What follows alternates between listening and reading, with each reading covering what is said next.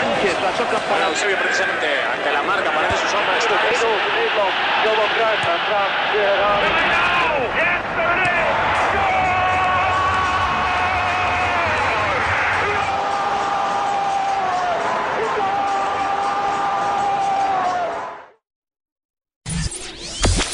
Amigos de Tu Soccer, el mundo del Pachuca, por supuesto, con otra personalidad en esta noche tan importante. Un hombre multifacético, un jugador que lo vimos de delantero, de arquero, con uniformes llamativos, pero bueno, así es, Jorge Campos, bienvenido.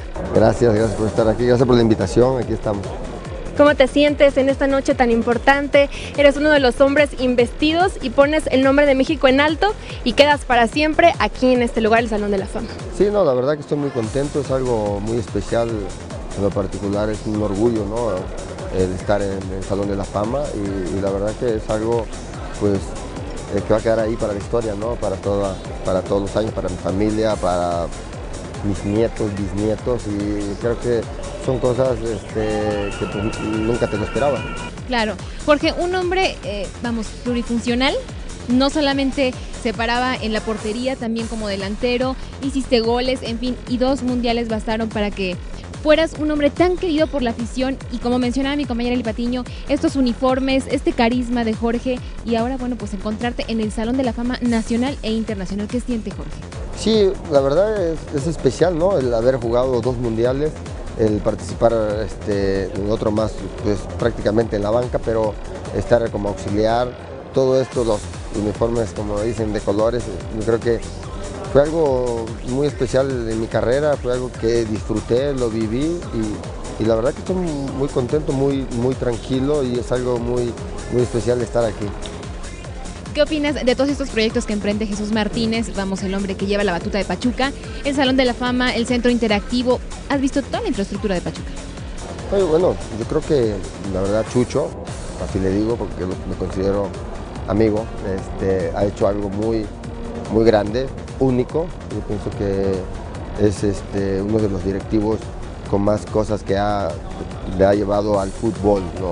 Esto es algo impresionante, yo lo diría, eh, es algo internacionalmente o mundialmente conocido, como le quieran llamar. Creo que eso es este, muy especial, debe ser muy especial para él. Debemos estar, bueno, en estoy muy agradecido, estoy muy contento de estar aquí, de, ser parte de, del Salón de la Fama, pero la, personalidad de, Chucho es esa, ¿no? es ayudar, es este, dar, es crecer. Y eso la verdad que en pocos directivos se, se les ve, ¿no? cuando tienen eh, equipos o son parte de una empresa o de un equipo. Entonces yo creo que pues, me sobran las palabras ¿no? para decir lo que es Chucho, lo que es Jesús, lo que ha hecho a nivel nacional e internacional, lo que ha hecho con Pachuca. Yo creo que ya a nivel internacional ya se conoce dónde está, qué es Pachuca, dónde, dónde se inicia. Y yo creo que todo esto que ha, es gran parte, pues su culpa, ¿no? Es la culpa de él, de estar. Y eso debe ser orgulloso para, pues, para él, ¿no? Debe ser un orgullo y, y todos aquí en Pachuca deben estar orgullosos. Jorge, ¿cómo te sientes? Hoy te encuentras rodeado, tú uno de ellos, con los mejores jugadores que han marcado la historia en el fútbol mexicano, en el fútbol internacional, pero seguramente te has encontrado con viejos amigos, ¿no? Que te dicen, que te platican. No, sí, es especial, ¿no? El estar aquí y ver aquí a todos los personalidades, los ganadores, los que están en Salón de la Fama, y, igual nos, nos saludamos, nos felicitamos y yo creo que es una alegría muy grande, ¿no? Estar en en el, la primera convocatoria o la votación o como haya sido, no sé realmente, no sé si lo merezca o no, pero aquí estoy y eso lo quiero disfrutar. Hugo Sánchez, la toca para Eusebio precisamente ante la marca, parece su sombra, Stukas. Yes,